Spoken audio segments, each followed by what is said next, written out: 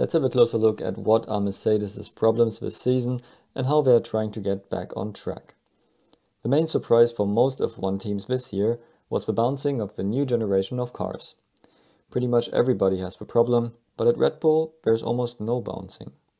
CTO Adrian Newey says that this is a problem you won't get rid of with the current generation. You simply have to find a way to live with it, as good as possible. Newey was one of the first students to focus on race car aerodynamics in Southampton at the end of the 1970s during the ground effect era of Formula One. And he also wrote his final thesis about ground effect. So he remembered the behavior that these ground effect cars could have. Effects that you cannot see in CFD or wind tunnel before the car is driving for the first time. He basically describes the solution as you have to avoid suction peaks underneath the car that would suck it onto the street. And that is what we discussed in my previous videos about 2022 floors and about floor expansion. So the key seems to be, like the Red Bull floor, to avoid aggressive kick points in vertical expansion underneath the car. If we look at the Ferrari, we can see one aggressive kick point and they have bouncing with a high amplitude and low frequency. Special about the Ferrari is that bouncing seems to stop as soon as the driver lifts the throttle and starts steering.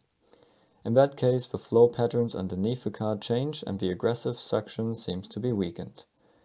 The Mercedes, on the other hand, seems to use a double kick point design from the pictures we have seen so far. The bouncing at the Mercedes is happening with a higher frequency compared to the Ferrari, and with smaller amplitude. That basically describes how long it takes to reattach the flow and build suction again. Mercedes themselves say that they thought it would be less aggressive in the rain when speeds are lower, but the issue was still there. They know that it depends on downforce level, speed, ride height, wind, bumps, and traffic.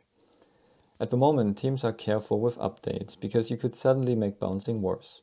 So, although it's painful and takes time, Mercedes wants to understand it completely, otherwise, they could end up with updates that bring the old problem back in the future.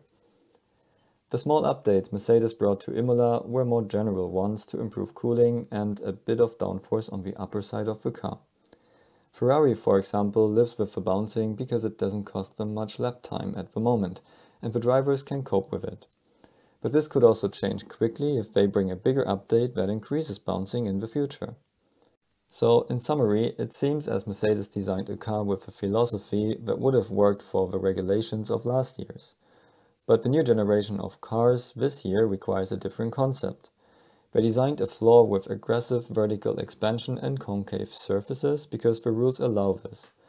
But as we heard from Red Bull, it's more about avoiding suction peaks underneath the car and even pressure distribution.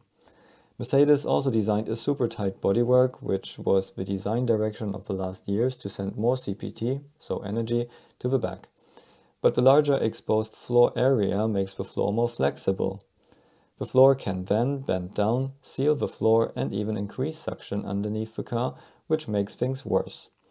To stiffen up and support the floor, they need to add weight to the car. And to reduce the bouncing, they need to increase ride height, which costs them lots of downforce. And because of that, they also have trouble getting the tire temperatures in the right window. So the Mercedes problem is not just their floor concept, it's bigger than this. And they would need a combination of new bodywork concept and new floor to be competitive and close the gap to Red Bull and Ferrari. These are large development steps with huge risks during a season while a cost cap is in place. And it's a good time for Red Bull Aeros to take jobs at Mercedes because the offers will be good. Let's see how Mercedes will try to fix the issues and see you at the next video.